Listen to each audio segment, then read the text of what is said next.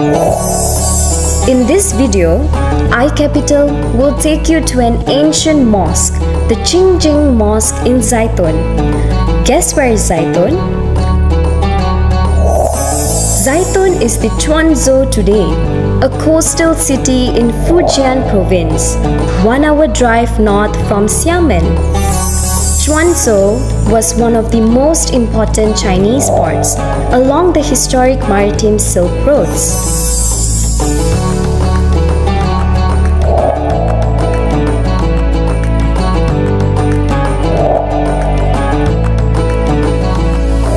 Some of the oldest mosques in the world can be found in China today.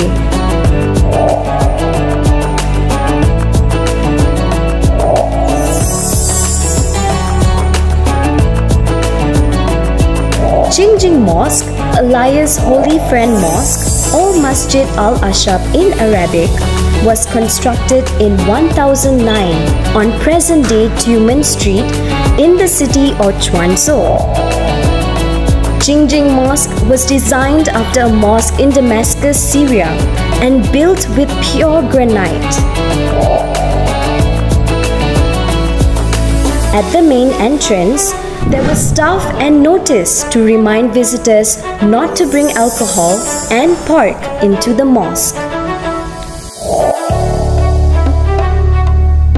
The worshipping hall or the Feng Tian altar was the place where the congregation bowed to Allah. What you see now are the stone pillars ruins after the earthquake in the Wan Li period of the Ming dynasty.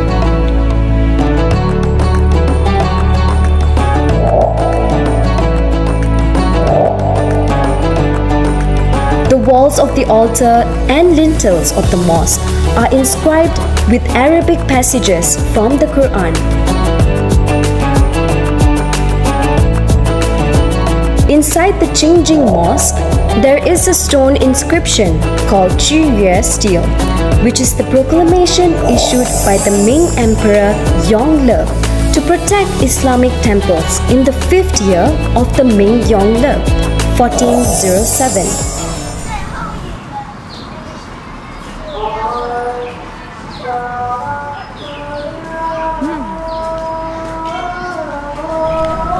Identical edict was found in four other mosques in China, including the Fuzhou Mosque, the Humin Mosque in Shapi Lane, Suzhou, the Huajue Lane Mosque in Xi'an, Shanxi, and the Yunquan Mosque in Songjiang, Jiangsu.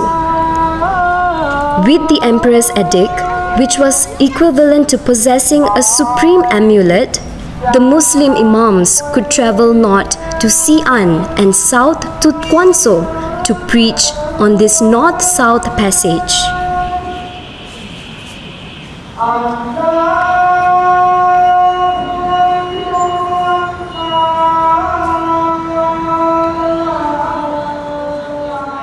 This glorious Qingjing Mosque has always been a representative of the friendship and cultural exchange between China and Arabic countries. Do subscribe to www.icapital.biz to read more.